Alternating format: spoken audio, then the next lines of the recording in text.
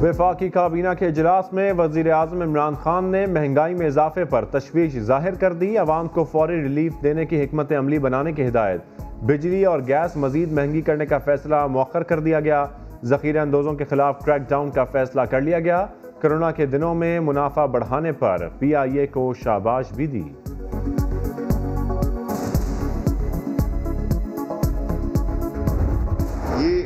इसमें इमरान खान को आप बिल्कुल नहीं लाएँ, ना हुकूमत को लाएँ। ये पंजाब हुकूमत मालूम करेगी कि ये किसने किया है, वो तफ्तीश करेगी, लेकिन इससे हमारा कोई लेना देना नहीं है। प्राइम मिनिस्टर इमरान खान ना इतने फारग हैं और ना वो एफ़ आई आरों के पीछे चलते रहते हैं। नवाज़ शरीफ, मरियम नवाज़ और लीगी क्यादत पर बगावत के मुकदमे में बड़ी पेशरफ। विफाकी हुकूमत ने तफ्तीश का फैसला कर लिया। इल्ज़ाम साबित ना हुआ तो मुलजमान बेगुना करार पाएँगे। वज़ीर इतला शिबली फराज कहते हैं, बगावत की एफ़ आई आर से हुकूमत का कोई ताल्लुक नहीं। हो सकता है F I R Noon League के अपनों ने ही दर्ज करवानी हो। इमरान खान इतने फारग नहीं कि एफ़ आई आर के पीछे भागते फिरे। काबीना का नवाज़ शरीफ को वापस लाने पर इत्तेफाक। वज़ीर आज़म ने कानूनी तकाजे पूरी करने की हिदायत कर दी।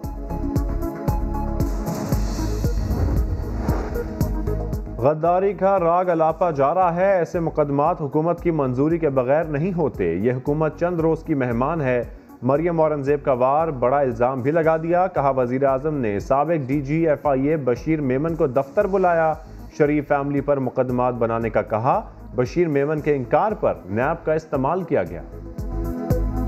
बशीर मेमन साहब एफ़ आई ए के फॉर्मर डी जी हैं। उनके जो इंकशाफात हैं सिलेक्टेड वज़ीर आज़म के बारे में, उसके बाद उनके ऊपर बासठ तिरसठ का मुकदमा दर्ज होना चाहिए। मुल्क की सबसे बड़ी टैक्स डकैती, एफबीआर एहलकार बने टैक्स चोरों के सहूलतकार ऑडिट रिपोर्ट ने टैक्स ऑफिसर्स का कच्चा चिट्ठा खोल दिया। टैक्स अमले ने पाँच साल में कौमी खजाने से 1100 अरब रुपए मार लिए। 2015 से 2019 के दौरान असल रकम का सिर्फ़ 12 फ़ीसद टैक्स वसूल किया। शरीफ से बैरून मुल्क लाने के लिए पूरी एम्बेसीज आज भी कैबिनेट में बात हुई है। पूरी कोशिश की जाएगी कि उसको लाया जाए। मरियम नवाज़ एक खातून है, मैं उसका आखिरी वक्त तक एहतराम करूँगा जब तक वो मेरे बारे में कुछ नहीं कहेगी। नवाज़ शरीफ को वापस लाने की पूरी कोशिश करेंगे। शेख रशीद ने भी बता दिया ऑपोजिशन के जलसों से कोरोना फैलने का खदशा भी ज़ाहिर कर दिया। बोले, शीन लीग से मुराद शहबाज शरीफ नहीं, मरियम जब तक कुछ नहीं कहेंगी, मैं भी कुछ नहीं बोलूँगा। बिलावल के बारे में फिर अपने अंदाज में तबसरा कर दिया। जरदारी का तो मैं तर्जमान नहीं हूँ। आगे मुझे आपने बिल्लो रानी के साथ लड़ा दिया कहीं कहीं ब्रेकअप ही ना हो जाए, मुझे खतरा है। गिरफ्तारियों का खदशा। नून लीग ने मुजाहमत की तैयारी कर ली। मरियम नवाज़ की हिदायत पर ऑन कॉल फोर्स की तश्कील। ऐसे कारकुनों को शामिल किया जाए जो हर कुर्बानी देने को तैयार हों।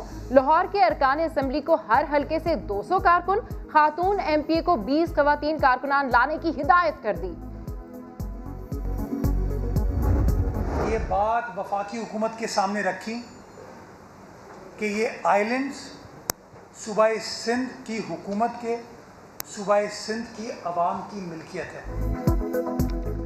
जजीरे हमारी मिल्कियत हैं। सिंध हुकूमत का सदारती ऑर्डिनेंस को मानने से इनकार। विफाक को जारी एन ओ सी वापस लेने का फैसला कर लिया। विफाकी वज़ीर अली जैदी ने बंडल आइलैंड का N O C social media पर शेयर कर दिया। ट्विटर पैगाम में लिखा, बिल्ली थैले से बाहर आ गई।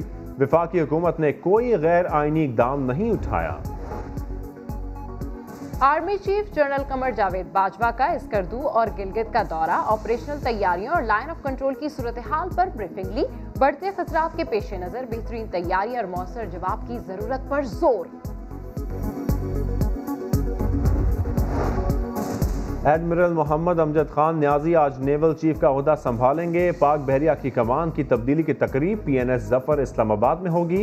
एडमिरल ज़फ़र महमूद अब्बासी पाक बहरिया की कमान एडमिरल मोहम्मद अमजद खान न्याजी के हवाले करेंगे।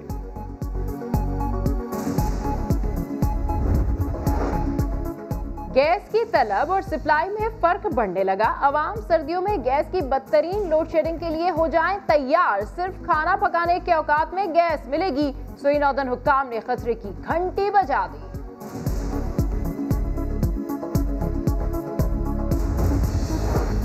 हुकूमती रवैये से दिल बर्दाश्ता। इस्लामाबाद के मेयर शेख अंसर अज़ीज़ ने इस्तीफा दे दिया। तर्जमान मेट्रोपॉलिटन कॉरपोरेशन ने मेयर इस्लामाबाद का इस्तीफा चीफ इलेक्शन कमिश्नर को भिजवाने की तस्दीक कर दी।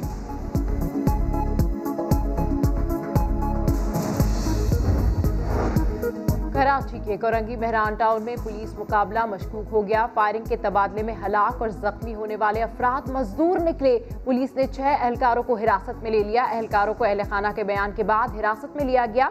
मकतूल अताउल्ला के भाई ने बताया, डाकू लूट कर चले गए। पुलिस 10 मिनट बाद आई और अंधाधुंध फायरिंग कर दी।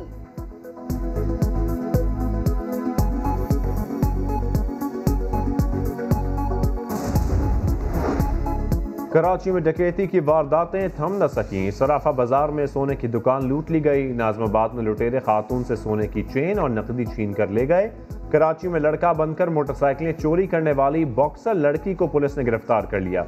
मुलजमा बीनिश उर्फ़ काटू का कहना है, ये उसकी पहली और आखिरी वारदात थी।